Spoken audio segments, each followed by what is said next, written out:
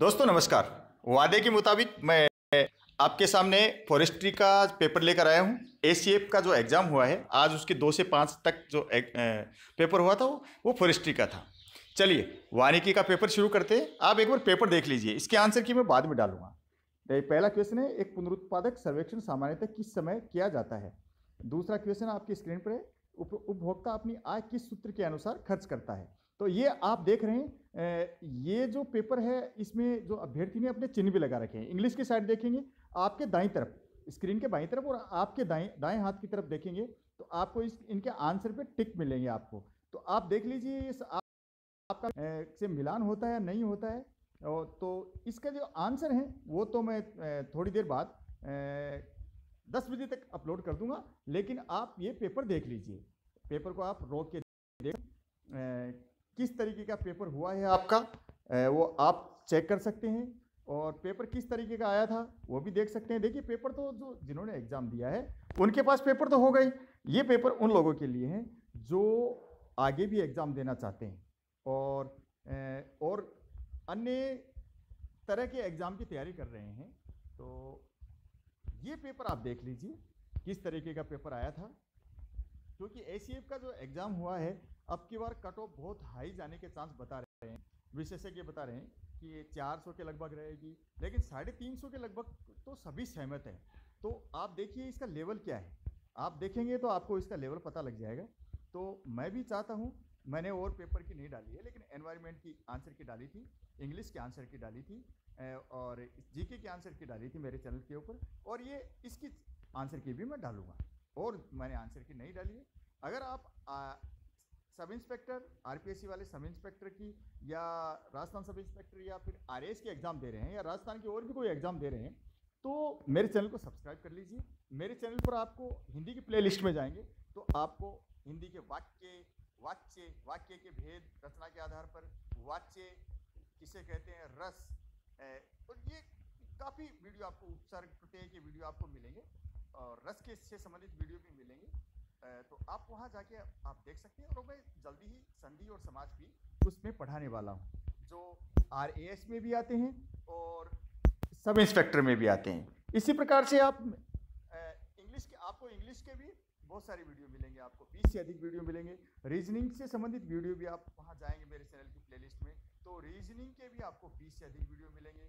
अगर आप टीचिंग की तैयारी कर रहे हैं R I E regional institute of education की तैयारी कर रहे हैं। तो आपको टीचिंग एप्टीट्यूड से संबंधित आपको बहुत सारे पेपर मिलेंगे बहुत सारे वीडियो मिलेंगे। उसमें आपको साठ से अधिक वीडियो मिलेंगे जिसमें आपको इंग्लिश के वीडियो भी मिलेंगे और हिंदी में भी वो टीचिंग एप्टीट्यूड यानी शिक्षक अभिवृत्ति और अभिवृत्ति के वीडियो आपको मिलेंगे। इंग्लिश से तैयारी कर रहे हैं तो वो भी मिलेंगे। तो दोस्तों आप मेरे चैनल को सब्सक्राइब कर लीजिए। चलिए अब चल रहे हैं साठवां नंबर क्वेश्चन आपकी स्क्रीन के ऊपर है। आप रोक के देख सकते हैं इकसठवां क्वेश्चन है, निर्मल धवल एवं एल थर्टी वन किसकी बेहतर किस्में हैं। तो ये यहाँ अभ्यर्थी ने जवाब दे रखा है, ये पेरी पायरेथ्रम तो ये आप देखेंगे ये सही है या गलत है। अभी बस एक बार पेपर, जो जैसे मेरे पेपर हाथ में आया है, मैं आप लोगों के लिए लेकर इसको उपस्थित हुआ हूँ। आप जिस प्रकार हिंदी का पेपर चल रहा है, आप अपने दाहिने हाथ इंग्लिश का पेपर भी देख सकते हैं। चलिए, काफ़ी आगे अपन seventy four question seventy four question भी आ गए हैं और seventy seven seventy eight seventy nine और रोक के आप देख सकते हैं? ये थोड़ा लंबा क्वेश्चन है सेवेंटी एट सेवेंटी नाइन वाला। तो आप ये देख सकते हैं। एट्टी नंबर क्वेश्चन आपकी स्क्रीन के ऊपर है। और चलते हैं?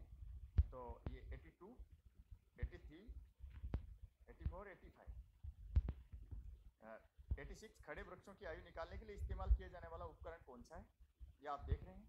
और आप मेरे वीडियो में देखेंगे राजस्थान की जीके के बारे में भी मेरे वीडियो आ, मेरे चैनल के ऊपर आपको काफ़ी बताया गया है। राजस्थान जीके से संबंधित प्रथाएँ राजस्थान की प्रथाएँ ये वीडियो पढ़े। हुंडी किसे कहते हैं? तो आप जीके के वीडियो भी देखेंगे। राजस्थान का इतिहास है उसमें आप महाजनपद पढ़ेंगे। राजस्थान के चार महाजनपद कौन कौन से? जनपद कौन कौन से? उनके बारे में भी बताया गया महाजनपद के बारे में भी बताया है। और भारत की जो भारत के जो सो, सोलह महाजनपद हैं वो आज कहाँ कहाँ हैं किस ज़िले में है कौन से प्रदेश में है उनमें भी नक्शे के साथ विस्तार से बताया गया है। तो आप मेरे चैनल की प्लेलिस्ट में जाना नहीं भूलें और वहाँ जाके ये सारी वीडियो आप देख सकते हैं एक ही जगह अगर आप नए हैं तो चैनल को सब्सक्राइब कर लीजिए। और पहले से ही मेरे चैनल के ऊपर तो आप इस वीडियो को भी लाइक करें शेयर करें और मेरे साथ हमेशा बने रहें। मैं आपके साथ हमेशा बना रहूँगा। तो ये 103 नंबर का क्वेश्चन है। केलस है तो इसका अभ्यर्थी ने चौथा नंबर का आंसर दिया है। यूकेलिप्स में पिंक रोग का पिंक रोग का कारण जीव कौन है? ये क्वेश्चन है। ये देखिए आप, एक सौ नंबर पे आ गए हम। 107 108 देखिए दोस्तों कमेंट करें, मर्यादित भाषा में करें। मैं आपको पहले ही बता देता हूँ, आप कहेंगे ये नए लोगों के लिए पेपर है। जिन लोगों ने पेपर नहीं दिया, उन लोगों के लिए। पेपर दिया उन लोगों के लिए, ये पेपर नहीं डाल रहा हूँ। ये भाई, पेपर तो हमारे पास भी है, आप ऐसा सोचेंगे। आप लोगों के है ही लिए है ही नहीं। जो नए बच्चे हैं, उनके लिए ये पेपर है। जो आगे पेपर देना चाहते हैं, या फिर जिन्होंने पेपर नहीं दिया, लेकिन क्यूरियोसिटी है, उत्सुकता है कि कैसा पेपर आया था, चलो देखते हैं, है ना? तो उनके लिए ये पेपर है। और आंसर की मैं आपके लिए डाल दूँगा। कोशिश करूँगा कि आज दस बजे तक मैं ये पर्यावरण की ये तरह ही ये आंसर जो एनवायरमेंटल साइंस की जो डाली थी मैंने, ऐसे ही इसकी भी फॉरेस्ट्री की, वानिकी की वानिकी की आंसर की डाल। ओके फ्रेंड्स, ये था आज का ये पेपर, वानिकी का पेपर। अगले वीडियो में आपसे फिर मिलता हूँ, तब तक के लिए नमस्कार, धन्यवाद, जय हिंद।